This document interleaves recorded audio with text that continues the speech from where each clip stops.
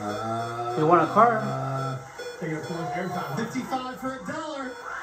He got it. Congratulations. Guess money, I guess. Plus showcase round for him, yeah. Maybe more. Nice job. Yeah. Nice job. Well, congratulations. You just got a thousand bucks. And you're on your way to the showcase round. Now you get an extra spin just for fun, trying to get some more money off us.